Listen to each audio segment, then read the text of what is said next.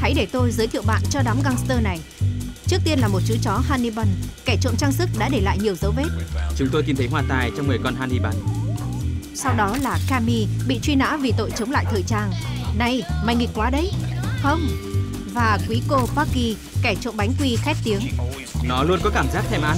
Và chúng không hành động một mình, ngoài kia có rất nhiều băng nhóm như chúng. Đón xem chương trình Chó Hư phát sóng lúc 7 giờ tối thứ tư trên kênh Animal Planet.